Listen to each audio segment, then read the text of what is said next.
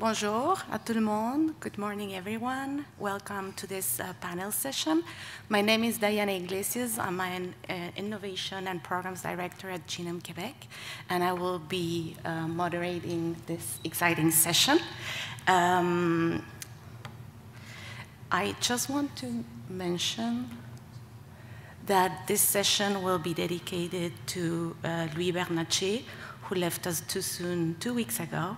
And if you allow me, I will do uh, remind us of who Louis was. Uh, Louis was born and raised in a small community where he spent uh, time outdoors observing nature and going hunting and fishing, which was his passion. His strong and deep connection with nature always stayed with him throughout his career. Louis received numerous honors for his contributions to scientific advancement. In addition to his Canadian Research Chair in Genomics and Conservation of Aquatic Resources at Laval University, he was a Fellow of the Royal Society of Canada and a Fellow of the American Association for the Advancement of Science. He was a recipient of several major awards, including the Prix du Québec Marie-Victorin and the Molecular Ecology Prize. He was also selected into the Hall of Excellence Genetics section of the American Fisheries Society. And he was an, one of the eDNA research pioneers with more than 600 publications on this topic and was the founder and editor-in-chief of the Environment DNA Journal. Besides his academic excellence, Louis will, will be remembered as a great mentor. He ran a big and active research group carrying extensive hands-on training on graduate students, postdoctoral research fellows, and research professionals. And I think the impressive flow of people passing through his lab shows to which extent mentoring was very much part of Louis's daily life as a scientist. At Genome Quebec, he, we will miss his energy and dynamic leadership in many projects, but particularly in the Fishes project launched in 2019 with the aim of finding ways to mitigate the negative impacts of climate change on communities that depend on freshwater and anadromous fish for both consumption and cultural life. So um, I would like to take two minutes to tell you who we are and what we do. And in case you didn't have the chance to visit us on the fourth floor at our booth, please do so, so that you can get to know us a bit better. Um, Genome Quebec is part of the Canadian Genomics Enterprise, which is a pan-Canadian network comprising Genome Canada and six regional genome centers. Uh, we work in partnership and across sectors to invest and coordinate in genomics research, innovation, data, and talent, and talent to generate solutions to today's biggest challenges. This network is key to our impact, facilitating regionally focused programs, proactive business development, and strong industry connections across the country, and it enables alignment of regional strengths and needs with national priorities. Particularly, Genome Quebec's mission is to catalyze the development and excellence of genomic research and drive its integration and democratization. Our core expertise are funding of genomic research projects, delivering genomic services through our technology platforms, harnessing the power of big data, and engage with the public through education and social acceptance programs and we operate on all sectors where genomics is present, health, agri-food, forestry, and environment. So today, we have a, a very distinguished panel. We have three researchers whose work has been funded by Genome Quebec and members from the Genomic Enterprise. And they are here today uh, with some of the receptors of the technologies being developed, uh, who are also actively participating in the project. Uh, so we will start the session with very quick presentations of these projects, and then we will get into a conversation um, around adoption of these new technologies and knowledge transfer. So I will invite first Valérie Langlois, who's full professor at Eau Terre Environnement Research Center at the Institut National de Recherche Scientifique, who's here today with, she said her, her Johnny, Jean-Christophe Guay, uh, who is environmental advisor at uh, Hydro-Québec. So Valérie.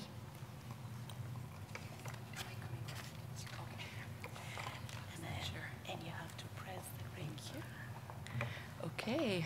Uh,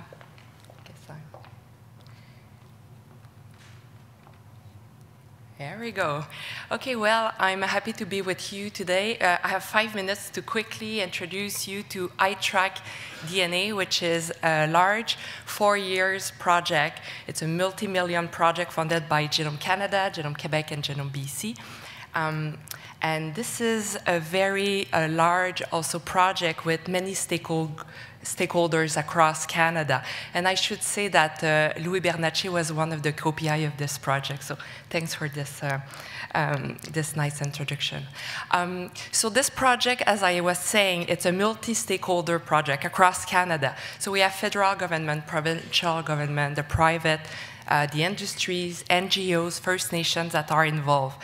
And really the project here is to um, develop standardized eDNA, environmental DNA, and environmental RNA, eRNA kits um, that can be used, uh, readily used for our stakeholders. So as you can imagine, we have many stakeholders with many interests, all interested in different, um, uh, to sample different uh, part of biodiversity. So today, for the purpose of my four minutes left, I will be speaking uh, about one of our stakeholders' engagement, which is Hydro-Quebec. Hydro-Quebec, as most of you uh, know, are part of the uh, produ producing the hydroelectricity in Quebec. So um, their interest into the iTrack project was to develop eDNA and eRNA kits for uh, four different species. So the first one is the American eel, and the reason for that is an endangered uh, species that uh, use um, the rivers for their reproduction, and when um, the, the eels are coming down, uh, there's a high mortality rate. So um, using um, the ratio of eDNA and eRNA, we want to be able to uh, further establish if we could better track this um, lost, um, this, uh, this mortality, but also if we could increase um, viability. Um, there's also um, a parasite that is uh, affecting those eels that we also want to have more ideas where um, the, the populations are being affected. So we are developing a EDD kit for that. And for lake sturgeon, um, when we, well, I say we, but when Hydro-Quebec are um, uh, adding dams or whatever, they are changing the flow path of the river. So it's affecting some of the spawning ground of the lake sturgeon. So often we, well, Hydro-Quebec is remaking some spawning ground, but it's important to see if they're going to be utilized by the fish. So at the moment, the way they are doing that is very invasive as it's using the eggs of the, uh, the the sturgeon that are living in the, that habitat. So we're trying, again, with the ratio of eDNA and eRNA, trying to see if we can not better detect that or uh, using a non-invasive way. And last, I want to say that there's a little mussel that actually uh, lives on that the sturgeon and are very um, they're at risk. And uh, it's very interesting to be able to uh, track those without like having to catch the fish themselves. So we are also uh, using uh, developing an eDNA. So this is just a quick status of all the kits the design where we are uh, for each of them. And then um, I have two last slides. So one on the eels, just to say that we are at the, the point of actually going in the field and testing the technology. But at the same time, we are doing eDNA and eRNA ecology in the lab to see how variables such as temperature, um, pH and different contaminants that can be uh, present in those environments could interact, interfere with the production and the degradation of those molecules. So we want to make sure that we can better predict and uh, at last, um, the kits that we uh, designed for the lake sturgeon were already used last year and this year, and they really confirm that they are well working, and they can predict when, uh, with temperature, when um, the, the, the fish are coming on their breeding ground. So it's really, well, it's working well so far, and um, yeah, so this is, that was just a, a quick five minutes, maybe I'm even past my time, uh, to present just tiny little part of this very huge uh, project, which is iTrackDNA. And we have a website, and we welcome collaboration. So if you're interested or if you're in need of any uh, uh, eDNA, RNA, eRNA uh, kits, just let us know. Thank you.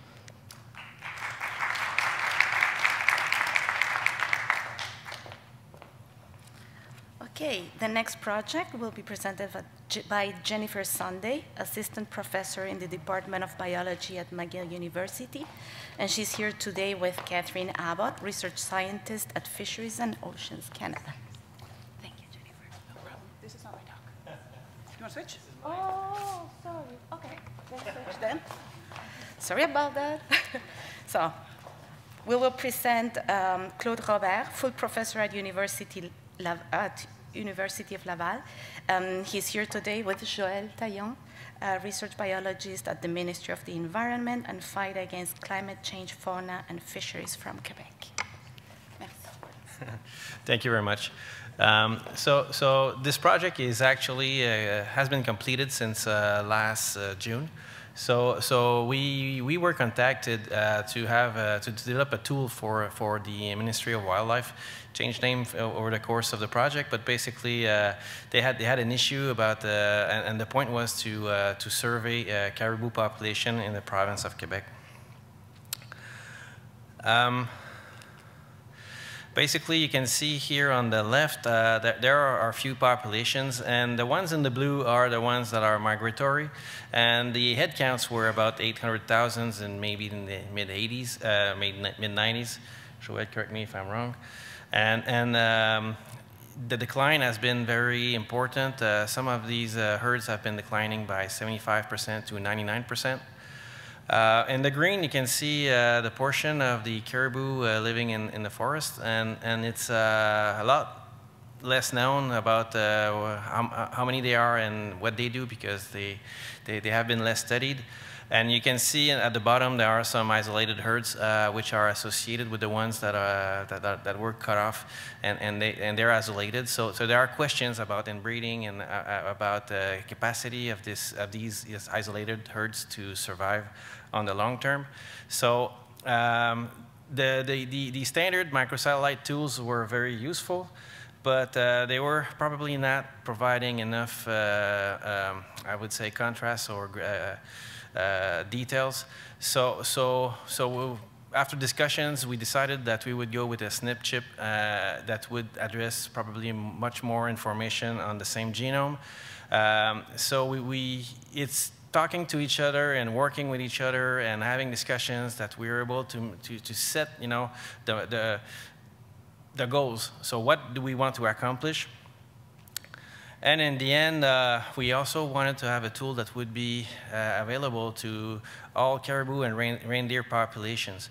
So uh, to, to, to, define a catalog of SNPs that would be useful for everyone, uh, we, we, we sit and decided to sequence and, and do some G, uh, GBS sequencing, uh, whole genome sequencing uh, for many population, including the ones that were not in Quebec, so uh, uh, populations across Canada um, and, and, across Eurasia. Uh, so with this, uh, we, we, we, set up an, uh, a large SNP catalog containing millions of, of SNPs. And we decided to select uh, some. Uh, so as you can see here, there's 63,000 or so SNPs that were selected. Um, you can see in the, in the blue box why they were selected. So we have a panel that covers the entire genome at a regular interval. And we have another one that was uh, specifically dedicated for uh, um, population uh, assignment. And we have another uh, through a collaboration with the University of Calgary with uh, Marco Musiani. Uh, we, we, we, he had identified SNPs associated with behavior, migratory or not. So, so we included all these SNPs on the, on the, on the panel, and, and basically the, the goal was to, to see what we can do with, with it.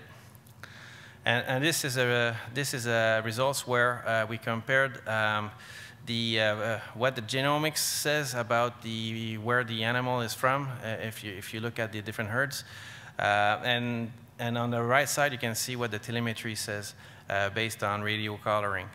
And, and you can find Charlie here and there, but there's not many. you're going to see that some of these spots are in the wrong, um, like let's say like, whoop, not this one. Anyway, you can see some of these because I don't know how the laser works. Um, but just, just, just showing that the, the, uh, for most of the wrong assignment, they're actually coming from a neighboring uh, population. So it's uh, so what we think is our uh, re recent uh, migrants. Uh, so we're very pleased with the with, with, the SNP chip. It provides a, a, good description of the population. So uh, in terms of usage, you can see here that our end user um, is is using it to to assign animals to populations.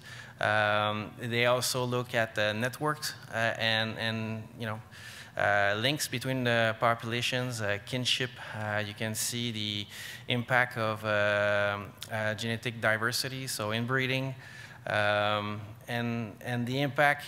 What's going to be the true benefit, I think, is going to come from the analysis of the, the spatial-temporal analysis. So we can see how the populations are evolving in time with the very precise description of the genome. So we can even identify how many animals are, are part of the reproductive uh, uh, subpopulation. So uh, I would like to say that the SNP chip is available to all. You can go uh, and see uh, Illumina directly, or you can, you, you, can contact Genome Quebec. They have an, an excellent uh, center for expertise that, that, handles the sample and do the hybridization, and, and they have access to the SNP chip. And to bridge with uh, the precedent panel, uh, we're also investing in, in Genovalia, which is a, a database or a data hub that we're, we're, we're setting up because we, we, we understand that there is a, a true benefit also to make uh, the, the data not necessarily public, but at least accessible uh, through different you know partnership uh, agreements.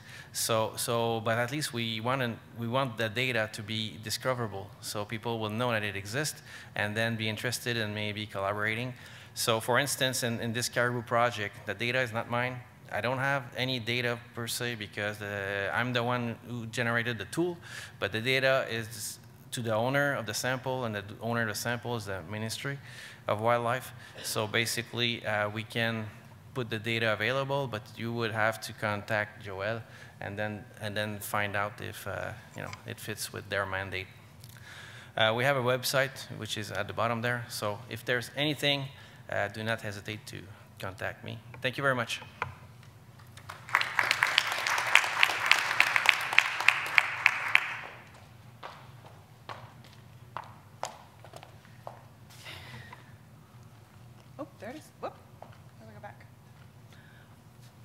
Well, I'll just go straight into it then. Um, I'm going to be talking about a project that's, can I go back? Oh, there it is. There we go. Thank you. Um, also supported by Genome Quebec and Genome Canada, um, as well as the Hakai Institute on the west coast of Canada. Um, and it's a work in partnership with Fisheries and Oceans Canada to help them fill some gaps that they have. Um, and so here's the problem. Canada's marine protected areas, you can see them here, they're, they, there are many, they're very different sizes. You can probably just see the big ones here. Um, they're difficult to access. Many of them are focused on deep water habitat, and, um, and they're also expanding. Canada's just keeps wanting to, to which is fantastic, uh, right in more marine protected areas. Uh, but the monitoring is not able to keep up. Um, and so environmental DNA, uh, metabarcoding is a possible solution, uh, but in talking with the uh, the, my agency partners at Fisheries and Oceans who are in charge of doing all of this monitoring, um, they need to know how certain they can be about their findings before they can start um, putting in investments. And so the question that we're focused on is how much sampling effort is required with eDNA metabarcoding to provide an acceptable level of certainty for management decisions. And so we thought a lot about this. This is a sort of a picture here of like we expect the certainty to increase with the number of samples we take, the depth of sample sequencing, the amount of replication, how proximal our sample is to the source habitat or organisms. Um, and so we expect all of that to increase the cost. So is any of this going to lead to certainty that we can make decisions on? And so our strategy, I'm just going to talk about one part of the project here, is to oversample. So we uh, collected um, about 210 independent uh, eDNA samples at depth in nearshore habitats, so where we're focused, um, on the west coast of Canada. And we're uh, asking, we expect species richness to increase with sampling effort. Uh, but more importantly is down here at the bottom, what we want to try to talk about is how the effect size of change, so what is the biodiversity change that we think we want to detect, how will our detection ability of that change in, um, increase with sampling effort? And it's actually, the relationship is maybe counterintuitive. We expect we can only detect big changes if we only sample a little. The more we sample, the more small changes or more precise changes that we can detect, the more certain we can be about those changes. Okay, and so we expect this declining relationship where the greater sampling effort is more refined uh, definition of change. Uh, and so we went out and did all that sampling. We, with our partners at the Hakai Institute, we did all the metabarcoding. We've got a beautiful reference database for fish. I'm just going to talk about fish right now.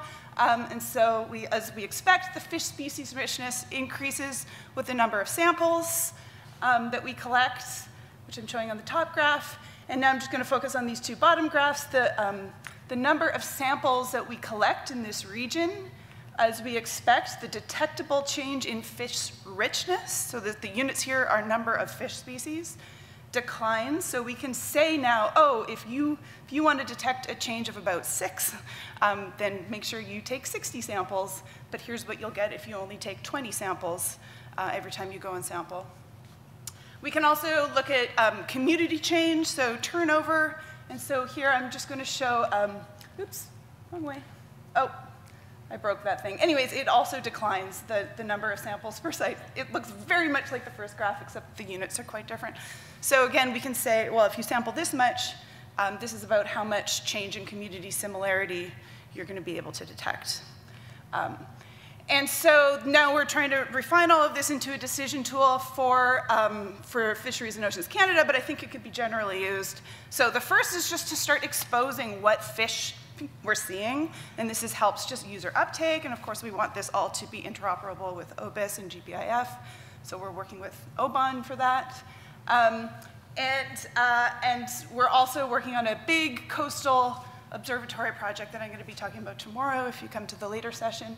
Um, but the next thing that we're working on is a decision tool um, so that the users can say, okay, well, here's my habitat depth, here's my size of my MPA, here's which markers I'm planning to use, and here's my desired level of confidence. And that some of the outputs can be something like you saw, which is um, an estimate of how much sampling is needed for a desired amount of change. And so with that, I just want to thank all the people that are part of this, and thank you.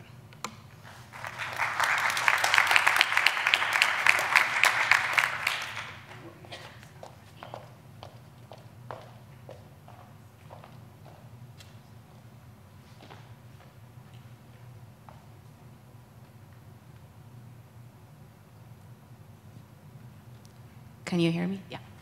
Okay, so thank you very much for the presentations. I think I, I enjoy them a lot. and um, we want to jump into the conversation about um, adoption of tools and knowledge transfer.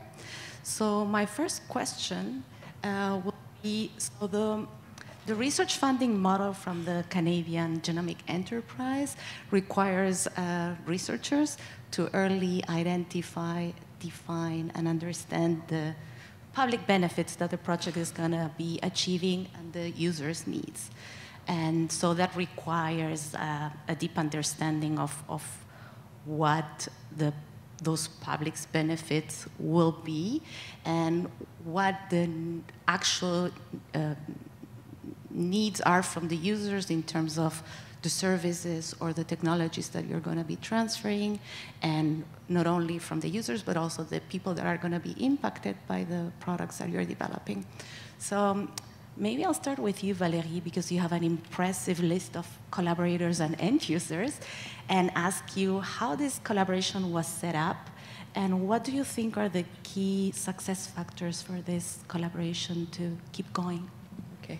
Well, um, I can speak first of all in general for the project, and then maybe more specifically with uh, Hydro-Québec.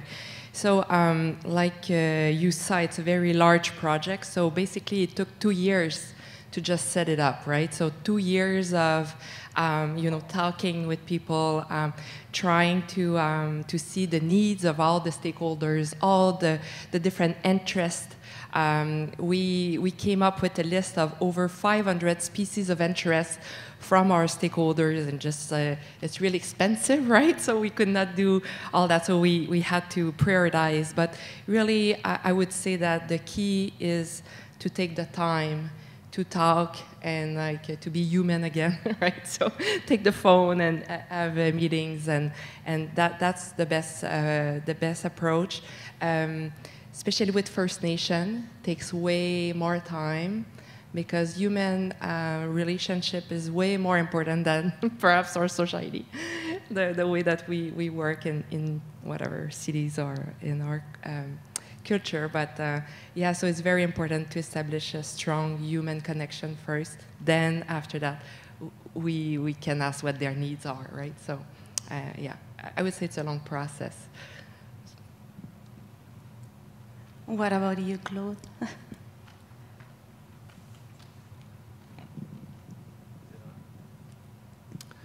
Well, it's the same thing. I mean, uh, you, you can't impose uh, your vision. You have to listen to what the end user wants and basically answer their needs. So, so we sat down and we discussed about uh, what they needed and, and, what are the options. And then when we agreed on what we would do, and basically, when you do when we're what's agreed upon, it works. Simple. Jennifer. All right. Um, yeah, I would say that I could say that the funding call uh, was a big push for us. So you know, I, I, have I know lots of people that, that work in fisheries and oceans that are thinking about marine protected areas. But it, it's like Valerie said to act and Claude said to actually talk to the, on the phone about like what you know. Oh, let's let's do this project, and then it takes a second to be like, what wait, what what do you guys actually need, and what and and, and how would that change our way of thinking? So, so at one point, talking with uh, my, my end users, we had a conversation, we just sketched out on a piece of paper this idea of certainty and sample size, and it was, it was only through that conversation, I think, that, that we got the idea that that is what's needed. Otherwise, we probably just would have been following our own track and thinking, oh, this is probably useful, but it's that conversation. And uh, from the perspective of the end users and in your own working experience together, what do you think drives the adoption of innovative practices by you? And I would like to hear from all of you. so you can start, Catherine. It's on. Okay. Um, I will speak to my experience uh, working in the federal government. So this is mostly with uh, natural resource managers and conservation managers. Um, my experience is largely that existing methods don't necessarily meet their needs uh, well or arguably at all in some cases. So even though we struggle with adoption of genomic technologies, I think because there are barriers, which we can talk about later, um, I think uh, the reality is that the standard right now is the bar is actually quite low in terms of what current tools are doing for natural resource managers and conservation managers. So this, these are people under pressure to generate impacts and have these desired outcomes from their efforts. And the, they're often working in a very data deficient environment, and I don't think that's often recognized, but I think that's the case. So with new tools like genomics, we have this promise. And I think because they're under pressure to be successful and they're working, you know, with data deficiency, genomics tools, they're, they really do offer an incredible amount of information. Like they're really populating kind of what otherwise is black boxes. You know, huge scales of um, environment, like geographic space, for example, where we don't even know if a species at risk is there because it's completely undersurveyed, right? So um, I think I'll just leave there. I know we're kind of short on time, but yeah, I think that's what drives their interest largely, in my experience. Thank you. How about you? So my situation is quite similar to the one to Catherine. So I'm a biologist researcher at the government of Quebec, so we already have a, a toolbox to monitor wildlife biodiversity to take into action with management and protection actions. But we have to update our toolbox, and Genomic is one of the way to update it. But still, we have limited time, limited budget, so we need easy to use tools. And for that, we could use it by ourselves, but we need very strong collaboration and service that are available to us as Genome Quebec. And we need reliable methods that can be used at different scales, either spatial or temporal scales. So a tool that can be used for different uh, needs. Um, also, we need to understand what come off those tools. We need to understand the output of those tools. And for that, we need very strong collaboration with genomic researcher, genomic groups, uh, to, because it's a very um, rapidly evolving field. And as a researcher, I cannot catch up with all new things that are happening. So very strong relationship, as Claude said, mutual understanding of the needs, of the expectation, and by talking about expectation, also understanding the strengths of those methods, but also the weaknesses and the limits of those. Because when you don't understand all of that, you can make a lot of hope or put a lot of hope on those new methods without understanding that they cannot answer everything. So we have to, you have to understand the big picture of it. Thank you. Would you like to add? Yeah. Uh, as a fish biologist, I, Hydro-Quebec, as you may imagine, we have a big print on, uh, on the landscape. So, and we have a large uh, uh, impact or possibility of impact of a lot of uh, aquatic system. And uh, since I work in hydro, it's like 19 years now, I always use a classic method for sampling as is mostly fishing or getting eggs, things like that. And there's limits of what those methods could give us, uh, give information for, for us. So with the DNA, uh, the, the, the, limit of uh, the question you could ask and the answer you could have are exploding. So it's very interesting for us to be able now to answer a question that we weren't able to do just 10 years ago. So it's why we, we, we start working with, uh, with, with Louis Bernatchez many years ago and then 2018, starting with DNA and after eDNA in water. So to, it could be used at uh, there, uh, a lot for, for, a lot of questions we have regarding uh, reproduction, reproduction period, um, the, the, the, the, monitoring of the population in, in a reservoir. Uh, we could ha have now access to uh, um, uh, very low abundant species information that we cannot get with the, the nest, thing like that. So we were very interested as uh, the moment we, we, we hear about the eDNA, we're, okay, that's a nice tool possibility. So we have to have, good uh, tools, and that's why we decided to invest uh, in uh, Louis Bernatchez uh, lab in research, and to, to have good tools that, that could be uh, uh, spread and accepted by authorities too to have a, a, a new box tools to, to, give us faster answer often, and uh, also it could be able to, to, um, to sample like large reservoir, for example, Manic 5. If you go fishing there, it's going to be two months of fishing. You go if, with eDNA sample, it could be just one week of, uh, with, with, to, to get the sample, so it's, it's, quite interesting. That's why we decided to, to, to work with the, uh, the university on, on this topic. So if I get it well or correctly, if you nail the needs of the users, the adoption will follow quickly. And as long as the tools that you develop are accurate, reliable, implementable if you want. Okay, so you mentioned, um, Catherine, and, and you too, Joël, um, barriers. And I was wondering what the barriers for the adoption would be, and what would be the strategies to overcome these barriers? I don't know who wants to, to take that. I open the question to everybody, not only the end users. Yeah, go ahead. Uh, right. In terms of overcoming barriers, I think there are uh, several that are some potentially more obvious, like technological or infrastructural. I think there are workforce-related barriers in terms of, um, I think we, we almost, we need a field of, of new graduates who can be environmental diagnosticians for us to populate labs that we don't have yet. Um, but I also think that um, I think there are some barriers. I think that there's a translational process going from science and research into implementation that may not be fully recognized, that that's a journey more than it is a step, especially when the technology is new.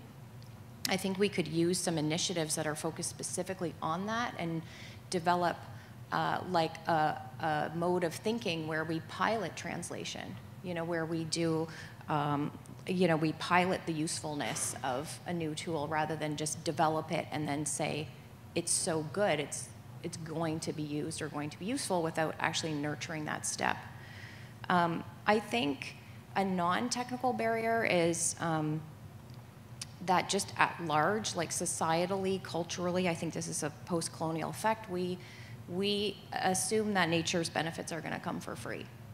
And if you look in the genome space, uh, what we spend on healthcare or agriculture, for example, versus what we spend on the environment is drastically different. So I think there's a, a paradigm shift kind of in our thinking that's going to need to happen because genomic tools aren't free.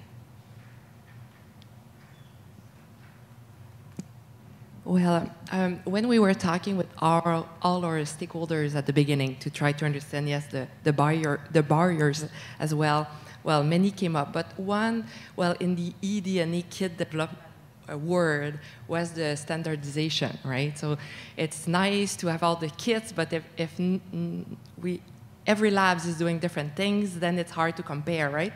So, so that's why one of the, the main goal of iTrackDNA is to actually come up with uh, a new standardized uh, protocol for uh, analyzing eDNA and eRNA to uh, some extent. So we uh, pair up with uh, the Canadian Standard Association, and the, the standard should be out like any weeks now. So this is at least you know one thing we would have done from the project, which will help the field as a whole. And it's also, you know, the first standard, standard on eDNA analysis in the world. Doesn't work, now it works. so it's the first time, anyway, that that uh, standard. So Canada is going to be the pioneer on that. So I think this is good for, it looks good for Canada anyway. Thanks. So just before coming, I did a little survey with my colleagues and one of the main issues that they had was about knowledge transfer, meaning that for them that are not, they're not using genomics that much for now, but they would like to. But there's a lack of information on the potential and possibilities of using it. So, and what I realized is that we need to think outside the scientific standards, meaning not just publishing in scientific papers. It's not how you get the information out to end users and to people that would like to use it.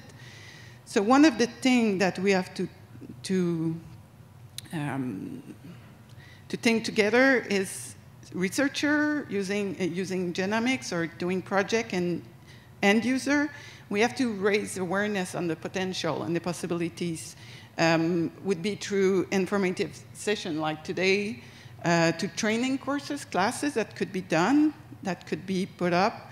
And just to focus on concrete example, exactly yesterday with all the three projects that were presented, to better understand what can be done, how it can be done, and how you can use it and add it to our toolbox. So I think for me, knowledge transfer, it's, it's on the, the thing on what we should work on.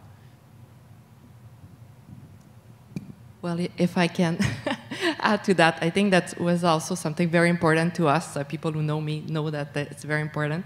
Uh, so for the iTrackDNA, for example, we did like a movie, right, to to show people like it's very basic, right, to just to show like you know what what is eDNA, what can we do with it. We also developed like a training program, one for like just like the population, but one for like the technician.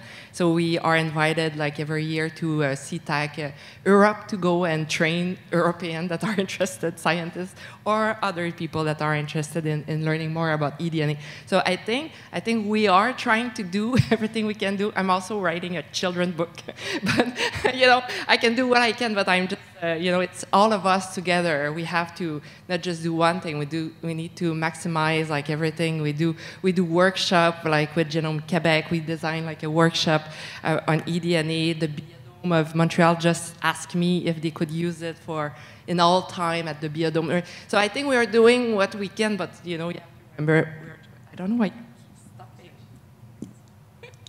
he doesn't like me. Um, uh, yeah, so, but we're just one person or a few uh, of us, so we just need to be uh, all of us doing it. So, but I agree, it's so important. But I, am including myself as an end user in the, in the loop of knowledge transfer. So the the, the work I've done with Claude, I'm talking about it to all my colleagues and showing them the possibilities. So I'm involved in a little part of iTrackDNA. So I'm trying to get that information out. But a lot of my colleagues are working with hunters, with fishers. Um, so, and they're looking at, oh, what can I do with genomics? How does it work? So it's, it's, it's, it's, go, it's going on, and we have to still work on it. I think I'll just add uh, in, in, meeting with end users quite a bit as well, as well uh, local groups who, who are working some of our kits on another project is uh, there's this two part. There's like the uh, like sort of seeing the vision and what's possible and, and what's possible now not what's possible in the future. Uh, and then there's um, and then there's just the invitation like the openness to be part of it because it could feel very i think it could feel like oh, something other people are doing, unless I, unless I learn all about genomics and all about, you know, it's a big learning curve. So, so the inclusivity and then the, the basic understanding um, is a lot of the, the work, but then it captures so much of imagination um, and, and people's, uh, it's like a, it captures a new audience, I think, too. that just, I mean, even that we're talking with Gen Genome Canada about biodiversity, I would say like probably 20 years ago, the biodiversity was over here and genome was medical, you know, it was other stuff, and now it's got, we have a whole new audience. Yeah. Uh, I, could talk as, as an end user, and uh, we use a lot of DNA. Uh, we, we do DNA study in, in Hydro-Quebec, and we have some small issues. Not it's not the same as education. We, we are fish biologists, so we know what is uh, eDNA. But we have issue regarding explaining that to First Nation first. Uh, I worked since 10 years uh, on the Société Saumon de la Romaine, which uh, where we use DNA for salmon, salmon genotyping, and it's really hard to explain how, how we could trace a fish, individual fish with DNA. So eDNA, it's it's more than that. You go, oh, you fish water, and you could tell me which fish are in. Are you serious? So it, that's one one thing.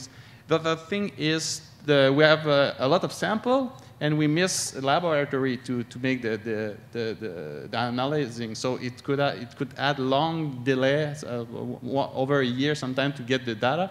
Sometimes we need the data faster than that because we have authorization, we have, issue, we have dates of, to, for reporting, things like that. So th there's two issues we, we have at uh, Hydro-Quebec. It's, it's that. I think this, where the point where DNA, it's starting, so it's a point, it's a it's a changing period now. I think in the next maybe five years there will be a, a lot of students that will be uh, uh, they will know about that, and we will have uh, tools that will be uh, uh, certified and uh, a reference. And I think the future is really interesting for eDNA, and it's also for Hydro. last thing is it's you could have best result with uh, less money invest because it's uh, quite less expensive to fish water than to fish to to uh, to to fish fish. Yeah, exactly. yes. Go. Basically, what what comes around for um, my own experience uh, working with uh, the several types of stakeholders, people in agriculture and, and in in uh, environmental studies what comes if, if you ever want to engage uh, with uh, with a stakeholder, they want to know uh, the price per sample, how, the, the, the, the, how much time you have between the sample and the data, and how much time and how, how autonomous will they be to analyze the data and get and get the, the, the, graphs out of it and the information out of it. So basically, you have to cover these bases when you engage, and then basically you get their interest if, if, it's, if it fits with what they need. So price, uh, time, autonomy, that's pretty much uh, covering uh, what you need to first engage a, a new stakeholder. So I see there are there's a technical component to the barriers, but there are also barriers, or I, I, wouldn't call them probably barriers, but points where we can work on, which are education, um, a bit of an economic barrier, maybe I heard. Um, is there other barriers that you think uh, could be playing a role, political, economic, uh, regulation? Well, uh, I saw that in some cases, especially in agriculture, some of the barrier were actually uh, data accessibility. If, if, if, if, you, if you say that the data is going to be in the public repositories, they won't, they won't engage because basically they can't put their data out there. So, so we have to figure out a way to get the data private but discoverable, at least what the data, that the data exists, and then you know through through the appropriate uh, contracts, then you get access to the data. So so so a lot of a lot of people don't engage because they they're afraid of losing their their uh, authority on the data. Any comments to that? No. Okay. So I will throw another question in. I was just wondering. Oh, the time. We don't have more time. Oh, okay, sorry. So I was so carried discussion. So I want to thank you very much for your presentations and the discussion. It was amazing. I think it's a topic that we need to continue discussing to make sure that genomics makes its point in helping people. And I want to thank the audience for being here and participating. If you want to ask questions, I guess you are available for questions. Uh, down there? Okay. So thank you very much and uh, keep enjoying the conference.